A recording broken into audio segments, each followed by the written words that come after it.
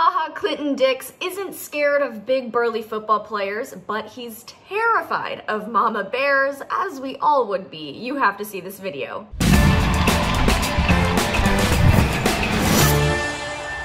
How's it going, you guys? It's Devin Howard. If you're not following me on Instagram, you can find me there as at Devin Howard. Check that you've subscribed to The Fumble, tap the bell for notifications, and hit the thumbs up button. It's hard to imagine a football player being afraid of anyone or anything. These guys take super hard hits and they have no problem tackling pretty much anyone. But haha Clinton Dix, the Dallas Cowboys safety, is afraid of a big old bear. He was just out and about on his scooter when he happened upon a giant bear and her baby cub and ran away terrified. You can see the bears moseying along on his driveway and he's scooting from the opposite direction when he bumps right into them. Luckily, he reacted very quickly and made a very speedy getaway. That would be absolutely terrifying. There are very few animals I'm afraid of when I see them out in the wild, but bears would send me screaming in the opposite direction. Haha signed with the Cowboys this offseason on a one-year, $4 million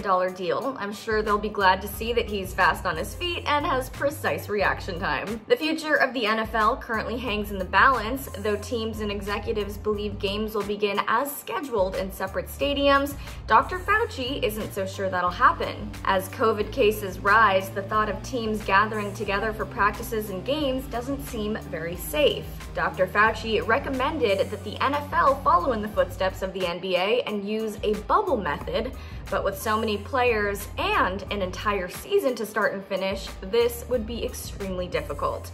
We'll see what happens, but for now, Haha's getting some good exercise with chance encounters with wild animals. How would you react if you scooted up to a bear and her baby? I don't think I would do anything that different from what Haha did. Let me know in the comments below. Don't forget to subscribe and tap the bell. I'm Devin Howard for The Fumble, and I'll see you later.